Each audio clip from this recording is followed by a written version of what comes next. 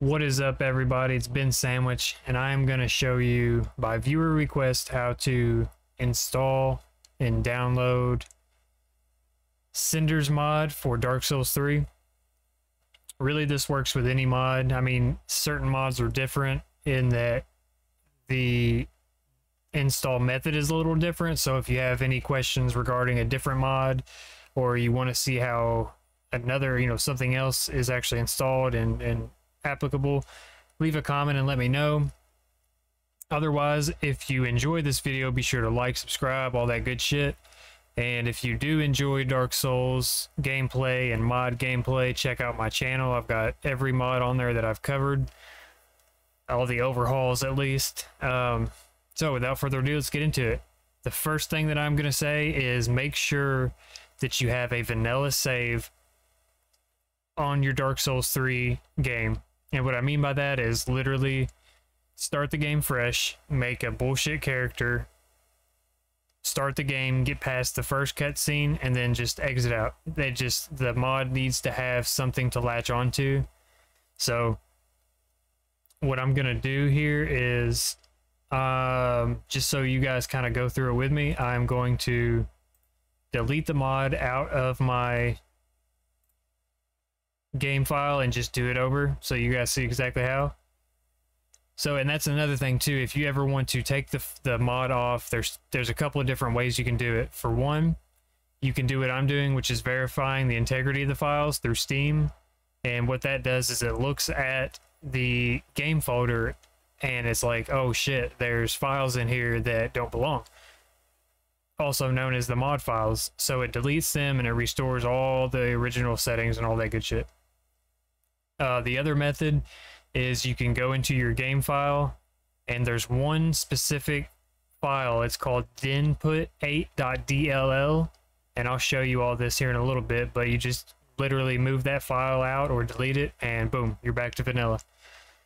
So it's actually a really simple process. Um, it's just a matter of, of doing it in the order that I do it. So soon as this gets done, we will get started. This is the longest part about it. And uh, all the things that I'm going to be using, I will have a link in the description. So it's going to be 7-zip and a link to Nexus mods. All right, so we are back to vanilla. Now, next thing I'm going to do is get 7-zip, which, like I said, I will have a link in the description for this. But if you want to do it yourself, go to Google, go to 7-zip, and what you're going to want to do is download the exe for your PC. So I would do 64-bit. You just install it, or you download it, and then you just install it. It's an easy, simple wizard, and you're good to go. So from there, we are going to go to Nexus mods, which again, I will have a link in the description for this. Now, this is the overview page. It just kind of tells you what they did with the overhaul. Uh, and there is worth mentioning little bit of installation instructions here, which is good enough for most people. But, you know, if you're not really tech savvy or you haven't done this before, don't feel bad. That's why I'm walking you through it. So we're going to go to the files tab here.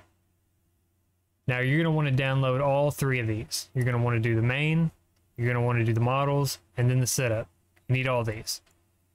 I would recommend doing them all now, download them all now, but we are going to work with each file individually.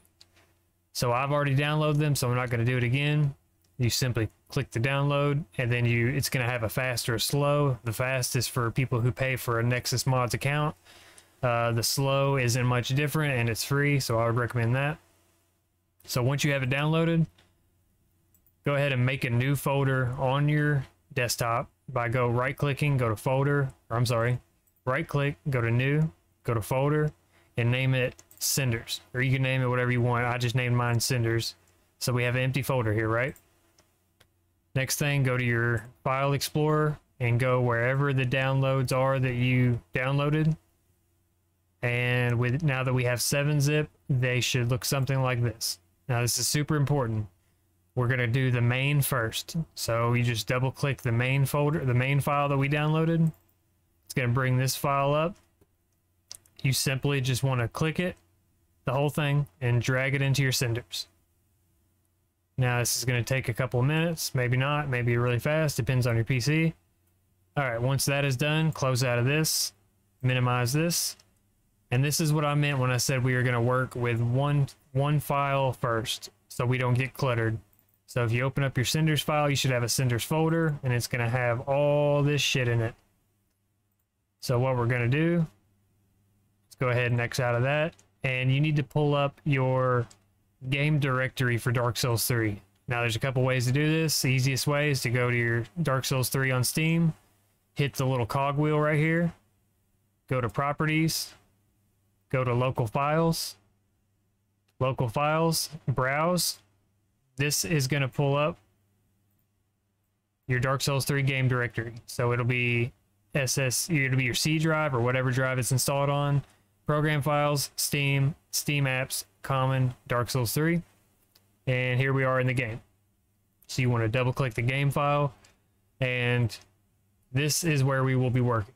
So first thing you want to do is open up your cinders file that we just put all the main folder in. And let me do this so you guys can see. All right, so this is our cinders file.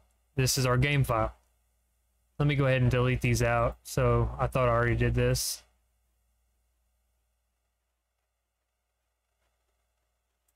Disregard what I'm doing here. I'm just deleting the mod off of this so we have a fresh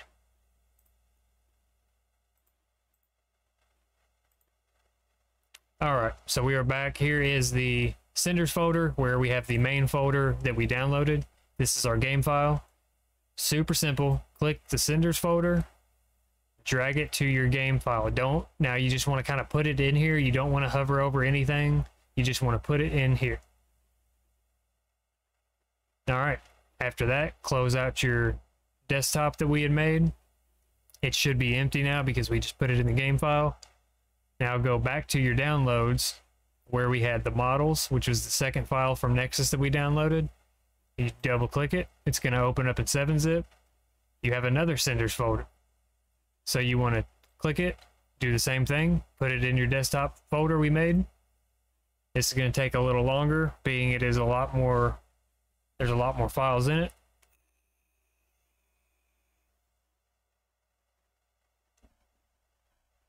Here we are at the end. Come on.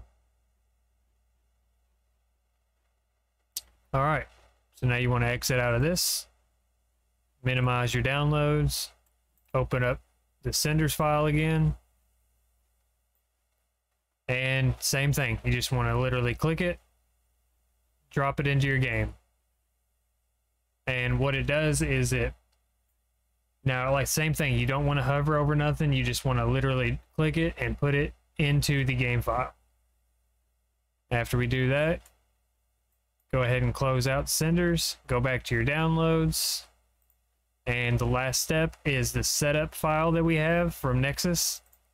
Double click it, and you just want to highlight now the readmes i'm going to mention this because it's important. The readme is always in stuff like this and i would take a look through it just because it has some explanations about the mod and it tells you how to do what i'm doing right now. And here's some important stuff. If you want to play online this is what it is. So by default the mod launches in offline mode. So no matter what you're going to pop the game on. It's going to be in offline mode. That way you don't get banned because if you play online with uh, mods, you will be banned. Now, Dark Souls isn't, there's no online for it right now, but this is, you know, this could be in the future when it gets, you know, back established or whatever. So go ahead and exit out of that. All we want to do is click, um, so click and drag mod, mod engine, HoodiePatcher INI, HoodiePatcher DLL, and dinput8 DLL and we're just going to do the same thing. We're going to go right from here, click it, drag it into our game vault. And that is it. You now have Cinders installed. And just to show that it works, we're going to launch it.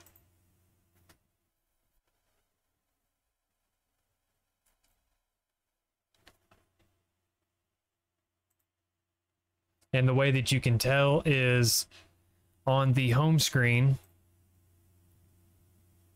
it will show the Cinders 2.15 right here. This is how you know that it worked, and there's another step that you can check, and it's just um, once you you log in and you're creating your character, you can tell if it worked by the new classes that are there and the new uh, armor and stuff like that. So if something went wrong, uh, you'll know because it'll look fucking jacked, and you know it's an obvious fix. So that, my friends, is how you install Cinders mod. And again, if you like this video, be sure to like, subscribe, leave a comment if you have any other suggestions on tutorial videos on how to install mods or anything like that. So appreciate y'all stopping in and I will catch you on the next one.